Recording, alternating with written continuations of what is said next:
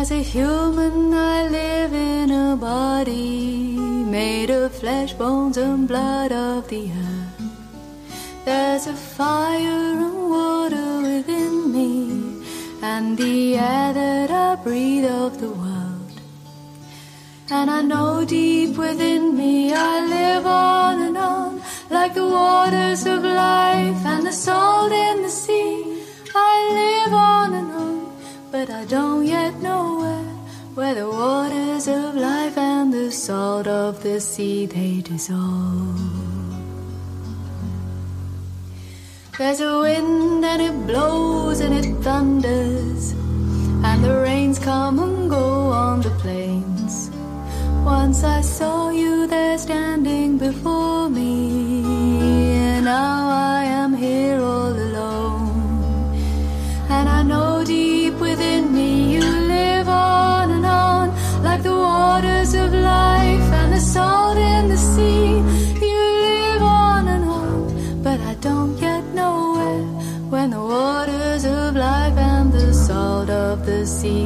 dissolve.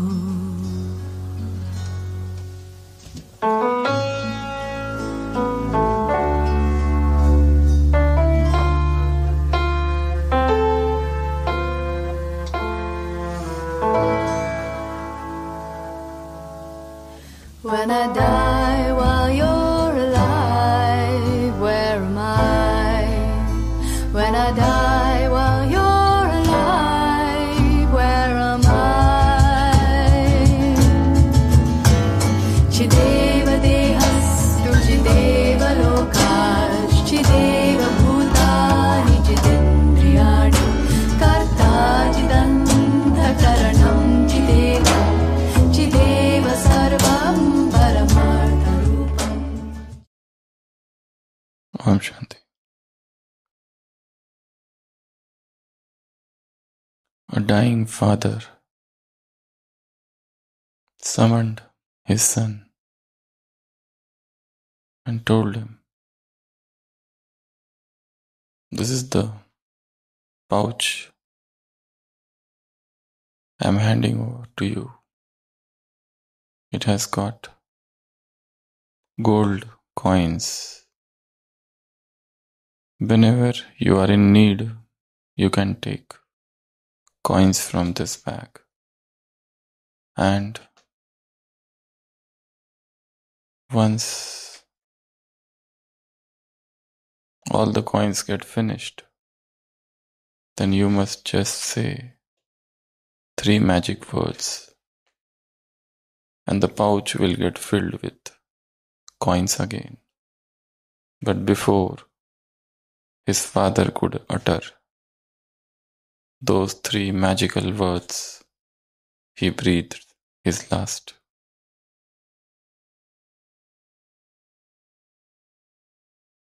The son was unhappy. He could not hear those magic words, and yet, with all sincerity, he continued living his life, and whenever he was in need of money, he would take out one gold coin and use it. Many years passed, and one day,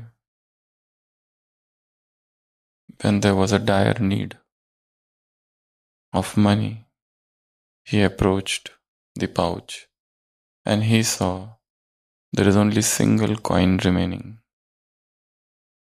And then he started thinking what I should do with this. If I use this, then the pouch will become empty and I will I don't know even those magic words. So he decided to donate that coin to a needy person. And he saw an extremely poor improvised beggar coming that way. And he handed over that coin to that pauper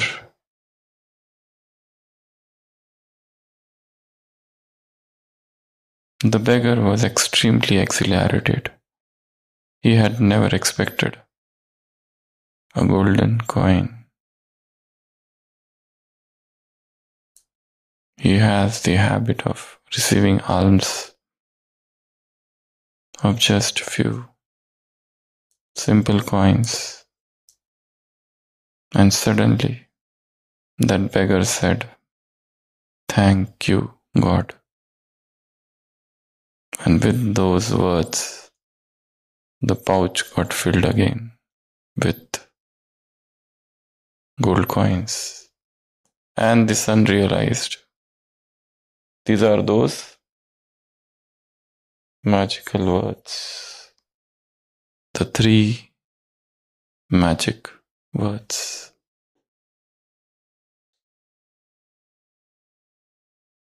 Today's Murli deals with three magic words. Who am I?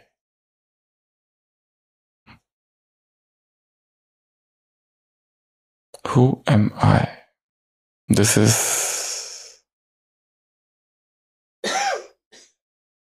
the Dharma. Whatever you do is just the external expression of internally who you are.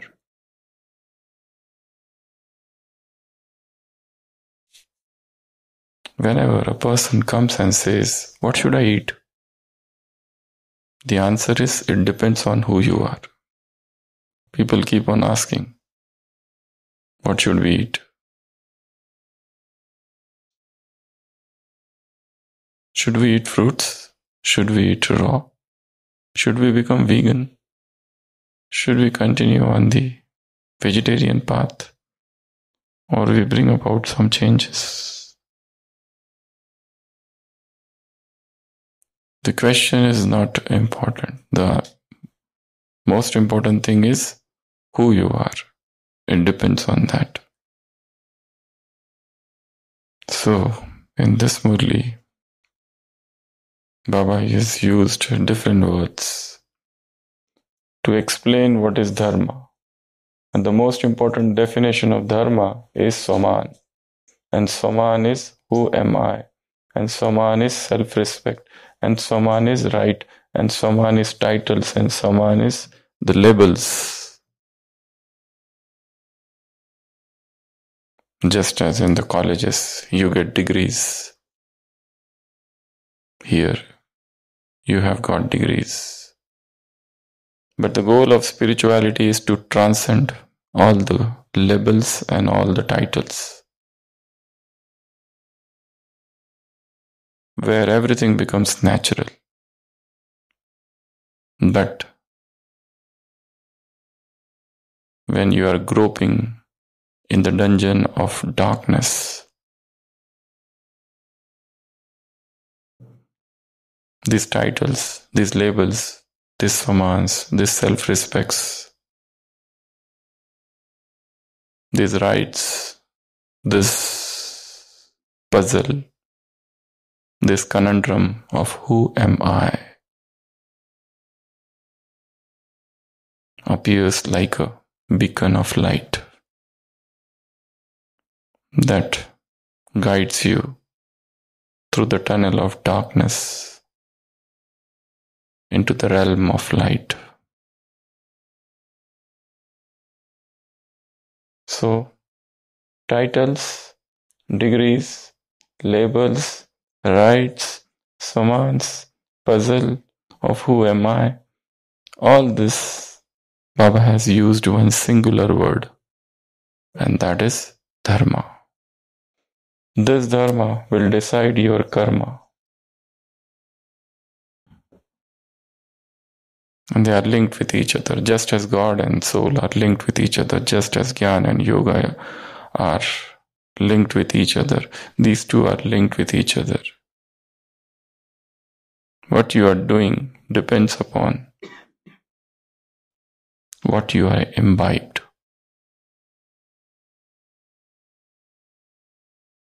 And this self respect also has got few stages. One is to know I am this, I am that. Just as a son of a king got lost, and after many, many years he was found, and the minister identified him because of some tattoo mark, birthmark and he was brought back. He was begging on the street. And the minister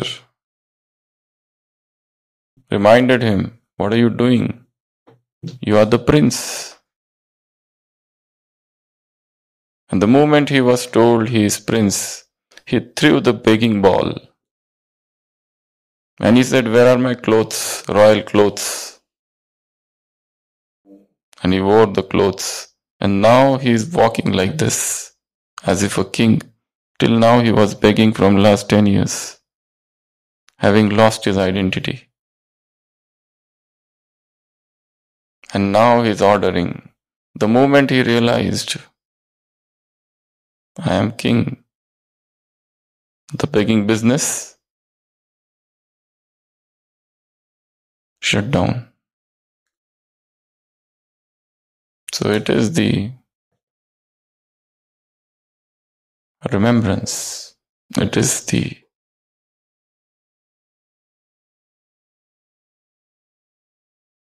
realization of who am I.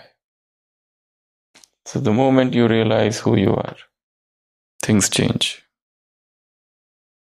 So this Swaman, this self-respect, these levels, these degrees, these rights, adhikar, they all will dictate then. Baba has given many swaman. You are world benefactor. So, the moment you realize that, then how can your actions be waste? It will be appropriate. Once you realize that you are world benefactor, you are you have come for world transformation. You are the compassionate one. You are the bestower of blessings.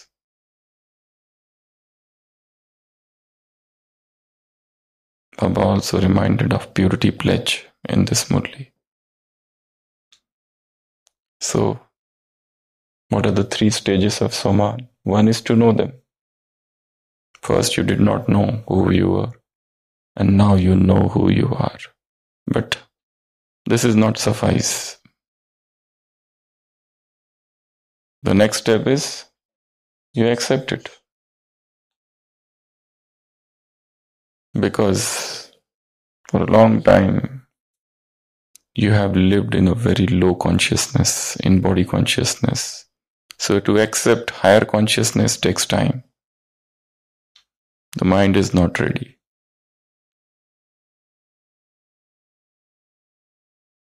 or rather it is happy with lower consciousness.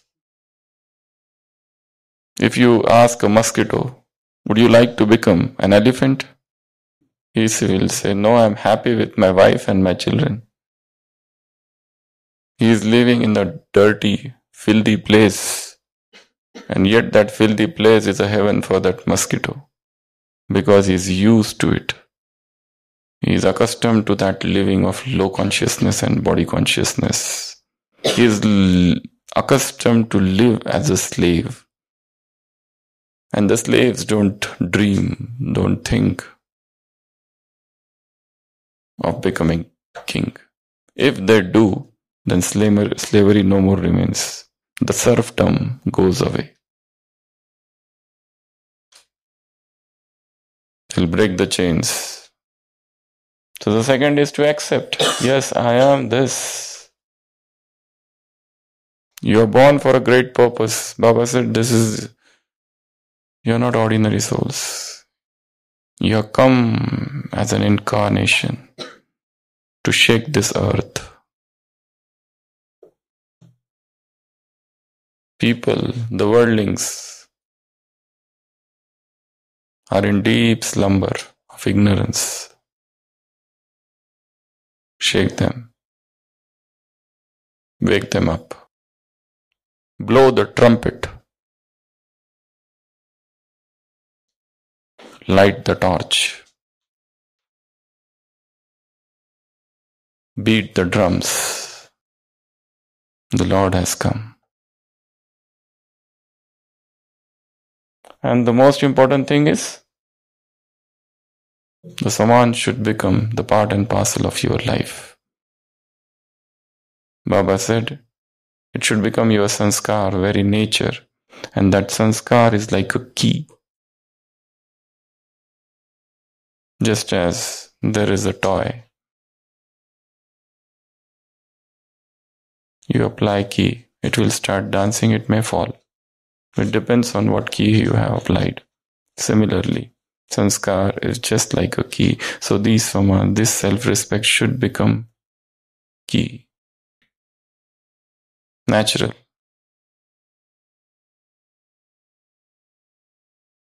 And it will require some practice. So the question is about formation of new habit. The habit of Swaman the habit of self respect, the sanskar, the habit, the new nature, the new normal. Post COVID world is called new normal. Now, this is the new and this is the normal. You have lived in low consciousness. That was normal for you, but that's not normal, that's abnormal. A person is eating salt and he thinks this is the sweetest thing in the world unless and until somebody gives him sugar. But he resists. He says, No, this salt is the sweetest thing. I don't want this. I never tasted and I don't want. I don't want to even try. But he is forced. Take this. And then he realizes, Oh, what I was relishing till now is absolutely insipid any now. So also, the divine love is nectar, the divine knowledge is nectar. When you taste this nectar of divine love, of love of God, all the worldly love, earthly loves, lose their taste, lose their flavor. So make this your habit. And Baba said this is the swing. One is Gyan and another is Yoga. In the similar manner, one is Karma and another is Dharma. No matter what happens, even if I have to die, I will not relinquish Dharma. Dharat. Baba has given a Hindi phrase for that. So make a Swaman book. When you write a Swaman, now two columns. One is Dharma another is Karma. So Karma depends on who you are, what you think you are. I think I am a great soul, so what should my karma be? My actions would be in sync with that thought, that identity. So from the Murli, take out such important points of self respect. I am compassionate. I am pure soul. Never give up this purity. Baba said to new ones, the newcomers.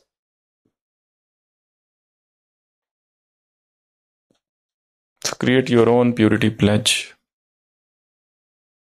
Dance in higher consciousness. Keep checking Master Sanskars. Seats are limited, Baba said. You know, advertisements, limited seats. Hurry up, please. Here also seats are limited. But it's still open. The too late board has yet not been put. So achieve spiritual heights. Become a spiritual giant reach the zenith, the summit, the highest point of spirituality. What is it? Experience that now. From that nadir, reach to the zenith, the highest point. and see how it feels like when you live persistently in higher consciousness. You don't feel like to come down. Because you have seen living at lower consciousness is full of distress, confusion. So, this is about today's Murli. Read it once, twice, understand it, find out new points, go in silence, go in nature, read it, churn it, visualize it, understand it, tell to others, narrate it, relate it, ponder upon it, give test on it, check yourself.